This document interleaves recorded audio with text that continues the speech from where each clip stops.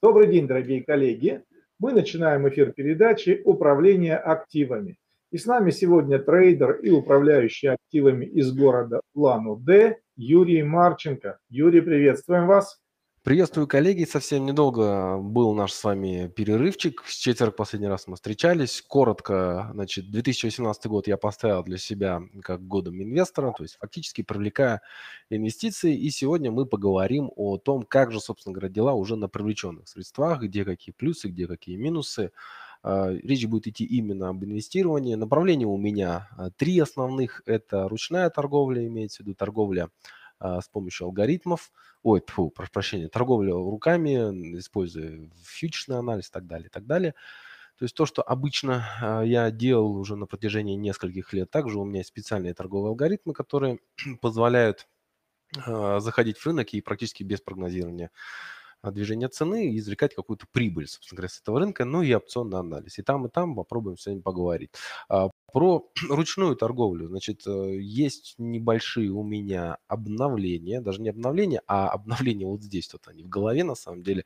Э, решил я маленечко продвинуть этот э, момент, ну, имеется в виду продвинуть с технологической стороны, да, я в управление руками не беру а, счета, то есть с идеей, допустим, могли бы вы взять там поторговать, нет, этого не будет, потому что это очень затратно с точки зрения моего времени, честно говоря. Я тут с алгоритмами начинаю маленечко захлебываться, но тем не менее здесь совсем по-другому. Но э, есть момент копирования, и этот момент копирования я буду э, улучшать с технической точки зрения и со, с точки зрения статистики, да, потому что правильно люди спросили, а какова же статистика. Я вот вам постоянно показываю счет, на котором все это дело торгуется, но э, этого на самом деле недостаточно.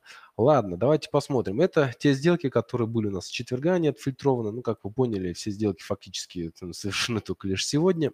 Э, и мы, я продавал евро. Все, что я здесь торговал э, вручную на этом счете, да, соответственно, автоматически копировалось у людей, которые а, воспользоваться этой услугой. Что здесь делалось? Значит, э, по идеям своего же утреннего брифинга, да, который я сегодня проводил, даже не, не сегодня, а там в понедельник это дело делал, да, значит, я рассчитывал на продажу от вот этого объема. А если уж говорить, в принципе, про объемы, а именно про объемы я всегда и говорю, значит, это у нас сопротивление, то есть вот у нас новый контракт, а, фьючерсный, да, на бирже CME. Максимальный объем, безусловно, у нас здесь, но я всегда ориентировался на вот эти вот два накопления очень интересные, и, в принципе, от них инструмент таки и завалился. Правда, я думаю, что это произойдет в понедельник. Ну, я вообще не думаю, что это произойдет в понедельник, я думаю, что это, дай бог, чтобы это вообще произошло. Это произошло, но, увы, я здесь совершил несколько э, грубейших ошибок. Ну, не то чтобы ошибок, да, то есть я не знал, что так оно будет. Значит, вошел я в сделку одним объемом, рассчитал изначально риск на сделку 1%. А потом мне не понравилось то, как именно состоялся вход, то, какие кластера здесь были в момент входа, и я решил, пока нахожусь в плюсе, выйти из сделки наполовину. То есть я вышел вот в этом месте, отмечено, да, наполовинку.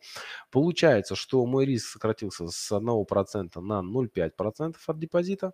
А, вот. И мой take profit, который я, в принципе, рассчитывал взять, да, он, как видите, один к одному был, это значит, что и take profit тоже 0,5%. В итоге мы сами видим закрытие этой сделки по профиту, а, откусанные мои локти, лежащие на столе.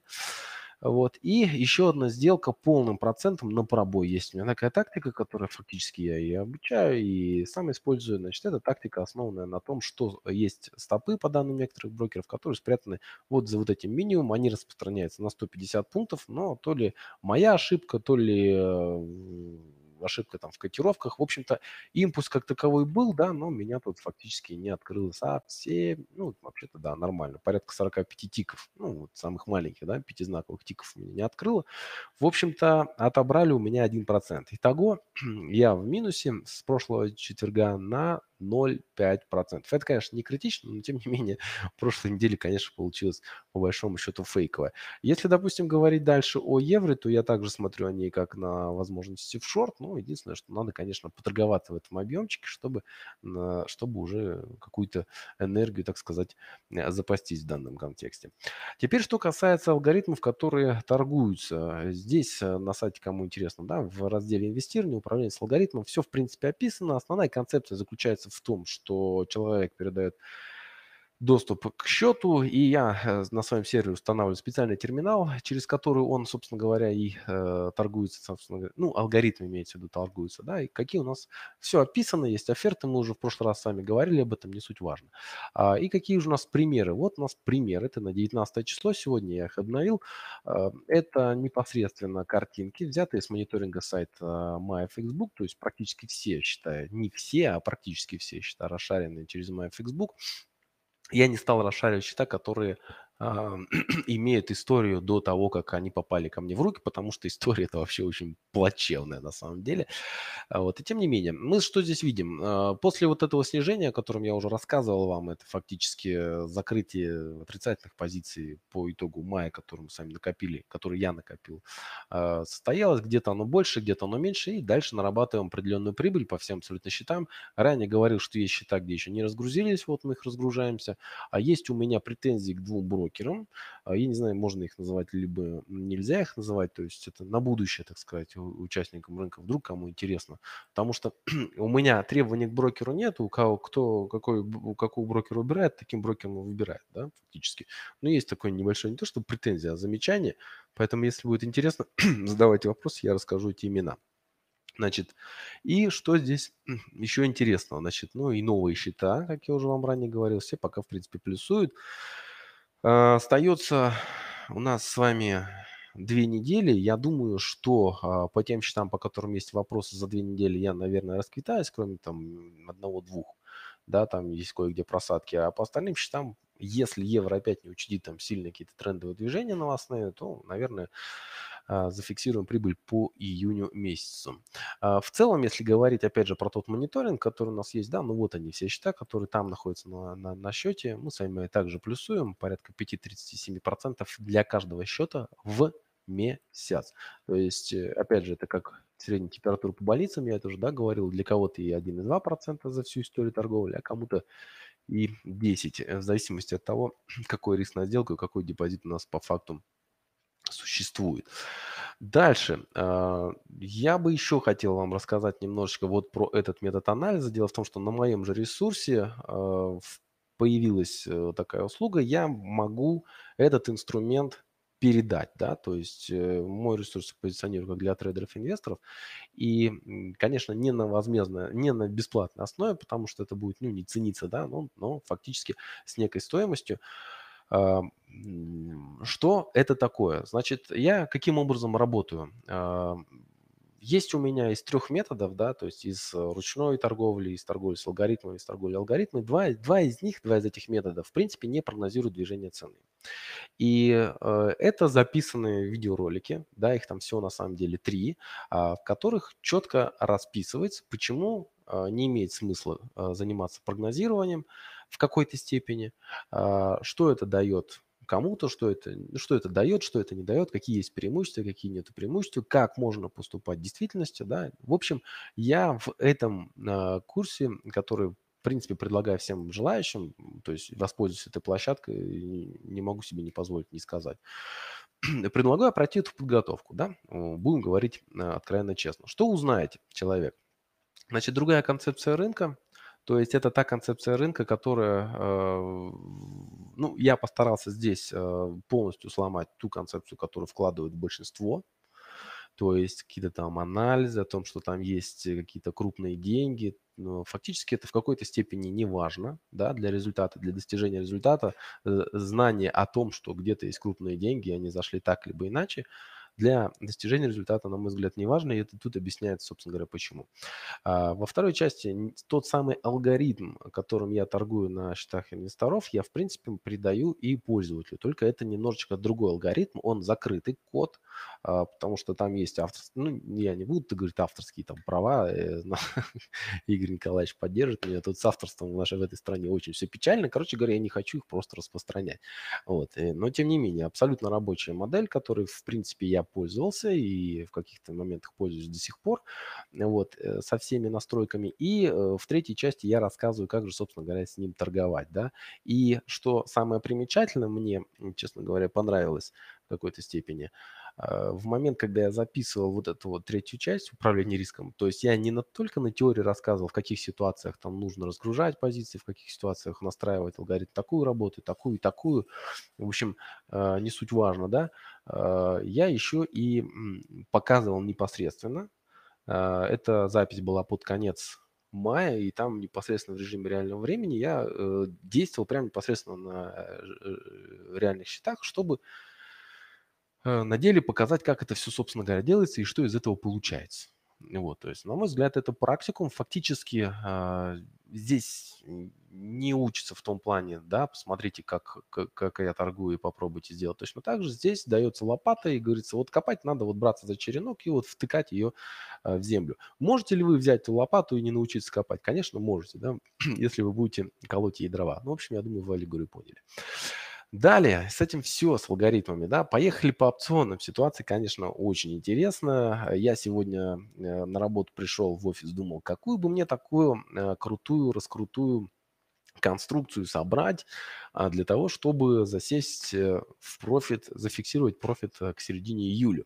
Но как только открылся наш рынок, сразу же передумал сразу же появились у меня другие задачи, да, потому что, напоминаю, а, по двум из, счета, по двум из счетов, которые мы с вами постоянно мониторим в этой программе, да и, в принципе, я везде их мониторю, да, по первому портфелю вопросов нету, там практически все позиции закрыты, и конструкция выглядит вот так вот, то есть мы сами э, технически плюсуем при любом абсолютно раскладе, то есть гарантированно получим 9 тысяч рублей, потому что позиции закрыты. Если сишка начнет заваливаться и упадет там ниже там, 57 в течение э, скольки там ближайших двух дней, да, то мы, конечно же, с вами э, еще получим, ну, не мы, я тоже неправильно говорю, я получу еще больше, да, если он продолжит расти, здесь вопросов нету.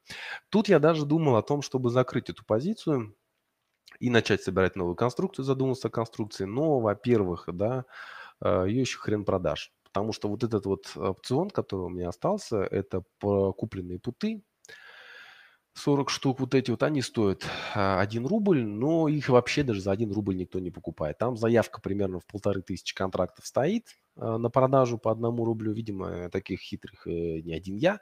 И ниже 1 рубля не поставишь, а покупателей данных э, э, путов нету. Поэтому позицию, судя по всему, придется выходить на экспирацию. Да, балбесов нету, которые готовы купить у меня путы. Дальше. А, что касается другого портфеля, он у меня немножечко настораживает, потому что мы подходим к краю. И это вообще самое печальное, что может случиться. То есть подход к краю за несколько дней до экспирации это просто какое-то кощунство. А, мы с вами плюсовали порядка 10 тысяч, мы выходим с вами на экспирацию, и э, самая хорошая отметочка была у нас э, на вчерашнем закрытии рынка, 9500, да, должен был быть наш профит временный, но а, фьюч на доллар-рубль подрос. Напоминаю, вот здесь, тут если смотреть по графику, да, у меня примерно, а, не примерно, а точно проданы колы, это 65 тысяч и 66 тысяч, они же откуплены.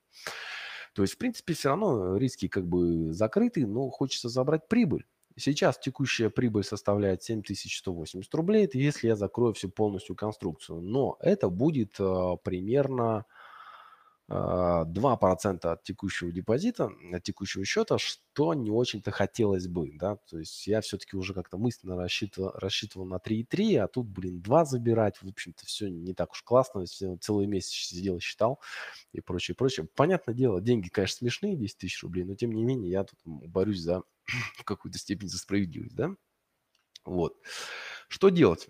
Что делается в таких ситуациях? Ну, э, идея номер даже три идеи сейчас попробую предложить. Это фьючерс. Прошу прощения, ребята, я маленько приболел. Фьючерс, значит, э, что можно делать с фьючерсом? Мы сами видим, что наша позиция по дельте становится отрицательная. То есть, в принципе, э, на текущий момент, ну, что такое дельта, да, для, по, по топорному, если объяснять, то, условно говоря, это наклон вот этой вот линии по касательной, да, то есть это примерно шорт 7 фьючей. Вот такая же аналогия имеется здесь. Такая же позиция будет при шарте 7 фичей, если мы проведем здесь касательную, да, ко времени стоимости. Это, конечно, не геометрия, но я думаю, что понятно объяснил. Вот. Э, как это все дело исправляется? Нейтралится э, дельта, каким образом? Покупкой 7 фичей. То есть, если мы с вами как будто бы по текущим ценам покупаем 7 фьючерсов, то мы сами имеем вот такую вот конструкцию. Она у нас становится ну, внешне чисто такой же, но вот э, кривой, да, вот такой же, ну, вот такой вот кривой. Сейчас попробую изобразить, что я на себе показываю, да? Есть же такая примета на себе не показывать. А, да, сильная, конечно. Вот такое вот, да, то есть если мы здесь посмотрим, приблизим даже еще даже побольше, то мы увидим, что у нас, в принципе, дельта нейтральная, то есть э, рост э, базового актива нам на текущий момент не доставляет неудобств, падение базового актива на текущий момент тоже не доставляет неудобств, однако чрезмерный его рост превращает нашу прибыльную позицию в позицию отрицательную, причем больше, чем изначально мы на это рассчитывали. И э, то же самое здесь в другую сторону. То есть э, покупка фьюча это в какой-то степени э, позиция э, такая, ну, самая последнее, что можно в данном случае сделать, да, то есть на последних жизнях экспирации, на последних датах экспирации, на, последних, жизнь, на последних днях жизни фьючерса и опциона, боже ты упаси, совершить покупку этого базового актива, ну, посмотрим. И ее имеет смысл делать, если мы, допустим, уже пройдем сильно край хотя бы так. Второй момент э, – это откупить, что мне больше нравится. Да? То есть у нас фактически э, минус-то приносят э, проданные колы, не проданные путы. То есть вся опасность по вот этой позиции, по проданным колам. Вот. Поэтому логично что? Взять и откупить. А сейчас, тем более, 65-е колы, они достаточно ликвидны. 102 их теоретическая цена по состоянию на текущий момент. И мы с вами можем посмотреть, да, сколько в стакане у нас заявок на покупку, на продажу. Здесь прям вообще торговля вовсю идет. Вовсю прет. Тут даже э, фьючерс в какой-то момент э, более спокойно выглядит, стакан фьючей, да, чем стакан опционов. А что из этого можно выудить? Ну, во-первых, э, можно сказать, да, что откупить обратно эти э, путы не составит проблем, да, тем более, что мы с вами видим, что, обратите внимание, они сейчас откупаются значительно дешевле, чем их теоретическая цена. То есть э, народ э, продает фьючи по более низкой цене, ну, значит, продать кому-то нужн, нужнее в какой-то степени, да ну, не то чтобы нужнее, а как будто выгоднее. Это то же самое, что везде огурцы э, на рынке стоят, например, 300 рублей, да, и один продавец э, всем продает по 250. Это говорит о чем? О том, что, блин, что-то ему очень надо скинуть. В общем, я это расцениваю как позитивный намек. И э, пока не тороплюсь это делать. Однако, если это состоится, имеется в виду, если э, я откуплю эти путы, обратно, то моя позиция примет вот такой вот тут вид. Она станет совсем безопасной с точки зрения дальнейшего роста актива, во что я, конечно же, не верю, что доллар-рубль там за последние два дня еще там улетит на какую-то кучу кучу-кучу пунктов. А, вот. Но, тем не менее, значит, если посмотреть, единственный минус, конечно же, это то, что мы теряем прибыль. Мы теряем прибыль, потому что изначально мы продавали эти фьючи э, по 215, откупать нам придется по 104, по 100, ну, даже по 80, да, ну, считайте, практически треть мы забрали. Поэтому прибыль наша, если она и будет, это будет 4, 4 800. Это примерно 1,4%, совсем печально. И третий возможный момент – ничего не делать, да, то, то, что я сейчас и делаю. Прекрасная вообще мечта а, для российского человека а, – ничего не делать. И я сейчас э, придерживаюсь именно этой тактики ничего не делать. Сидеть и ждать два дня. Два дня – это не критично в конце концов весь этот арма дневной сами а, вышли. Все, ребят, значит, здесь у нас все. А, коротко, если подвести резюме по управлению позициями, значит, э, по копированию счетов э, будет обновление, будет новая статистика. Этим я занимаюсь. Я думаю, что к концу июня я вам про нее расскажу. Вот. Э, по алгоритмам практически везде разгрузился. И, в принципе, там уже кое-где профит капает. И думаю, июнь у нас будет нормальный. А, ну, а фьючерсы, как я уже сказал, а опционы, как я уже сказал, сижу, жду. Маленькая ремарочка, не знаю, знаете вы или не знаете. Тут, оказывается, есть люди, которые а, почему-то не знали этот момент, э, про экспирацию. А, экспирация и фьючерсов, и опционов будет проходить 21 числа в дневной калиринг. То есть практически можно сказать, что нам, ну не нам, опять же, почему я все на вас перекладываю, мне осталось продержаться ровно 48 часов. Вот через 48 часов все закончится – а, и, и все. А, в следующей передаче, конечно, мы с вами встретимся, и я вам расскажу, чем все закончилось. И обещал рассказать на прошлой же неделе о новом видеоролике. Я специально выкладываю его под конец передачи, чтобы вы не вздумали смотреть этот ролик в тот момент, когда я рассказываю вам про какие-то интересные, на мой взгляд, вещи. А, посмотрите, что это за ролик. Это ролик э, немножечко критичный, который я выложил на своем YouTube-канале. Я бы, честно говоря, очень хотел бы, чтобы вы поддержали его лайком э, и одним-двум комментариями, чтобы продвинуть его максимально высоко во всяких там рекомендациях и так далее, и так далее. Я хочу, чтобы эту историю и эти правила получили максимальную огласку настолько, насколько возможно теми ресурсами, которыми я обладаю. Поэтому любой комментарий от вас, любой лайк от вас сыграет только только лишь пользу, поэтому я вас жду. Все, ребята, вопросы, пожелания, давайте. Хорошо, коллеги, пожалуйста, ваши вопросы Юрию. Юрий, про этот ролик, давайте остановим демонстрацию рабочего стола. А, про этот ролик, э, там в чем основная идея, ну, как бы для тех, еще не видел. Э, я свой канал и весь ресурс позиционирую в основном для, так и называю, для трейдеров и инвесторов. Именно там я э, рассказываю какие-то штуковины с трейдерской точки зрения и рассказываю, как правильно инвестировать, либо не инвестировать. В этом ролике основная суть заключается в том, что я э, говорю про пять пять важных вещей, на которые стоит обращать внимание потенциальным инвесторам, для того, чтобы они не попали в, так сказать, в лапы людей, которые, ну, нечестно по отношению к ним отнесутся. Все эти вещи достаточно четко прописаны, все эти пять вещей, они э, абсолютны, то есть их можно сделать и, и, и их можно проверить, это не, не, не сложно, не стрёмно. Вот. Просто этот ролик, Э, я давно хотел его записать, но тут на меня вышел человек, который попал, так сказать, с одним человеком в эту историю. И этот ролик как бы основан на э, реальных событиях. То есть эти события реально произошли, и вот мы как бы учимся на чужих ошибках и подчеркиваем пять вещей, на которые всегда стоит обращать внимание при инвестировании. А тот э, персонаж, о котором мы говорили, это тоже там звучит, я так понимаю, да? А, я сделал немножечко по-хитрому. У меня все-таки нет было цели э, напрямую а, навалить грязи. А, я это сделал косвенно, поэтому я придумал там некий псевдоним. Но ребята в комментариях быстро определили э, собственника, поэтому я думаю, что у зрителя не возникнет вопросов. Я понял. Нет, это значит темы нет. Значит, вы не захотели эту тему трогать. Поэтому, ну, кто смотрит, то посмотрит, пожалуйста. Мы, конечно, к этой теме касаться не а будем. А какой, а какой темы не, не захотели? Если нет имени и фамилии персонажа, темы нет. А в комментариях, э, не в комментариях, даже в описании к этому ролику есть имена и фамилии. Вот Я... и все. Это знаете как? Это как э, Путин не называет э, фамилию Навального. Я понял, да, ясненько, ясненько. Все знают, о чем речь, ну как бы все. Я от темы с тем, которую вы ранее предлагали, не отказываюсь, ни в коем случае. Мне даже было бы интереснее. И, честно говоря, я сильно удивлюсь, если у вас такая передача получится. А, я думаю, что нет, потому что Тимофей ответит, это не я, это вы там себе придумываете, а я не назван, идите вы все. И вот этим дело и закончится. Понял? Ну ладно. Ясненько, Юрий. Ну, жалко, просто в следующий раз, если вы, ну, как бы решаете какую-то атаку делать, прямо атакуйте, ни о чем не думайте. А если решаете не делать, ну, тогда да, тогда в целом поговорить это тоже полезно, тоже важно. Конечно, но это совсем другое.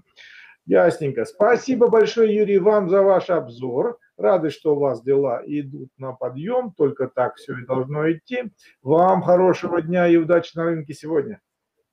Так, а вопросы мы с вами все понял. Ладно тогда. Коллеги, все, всем тогда хорошего, хороших э, недели профитной. Встречаемся с вами, опять же, через неделю. Все, пока. Да, хорошо. Всего доброго. До свидания.